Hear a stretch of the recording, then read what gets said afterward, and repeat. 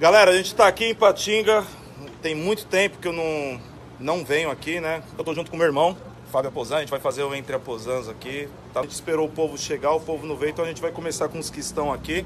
Deixa eu mostrar aqui os poucos que vieram pra vocês aqui, ó.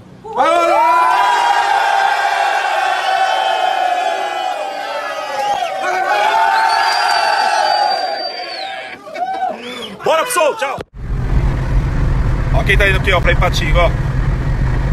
Fábio Aposanjo e Carlos Guima. Daqui a pouco a gente tá em Ipatinga, hein?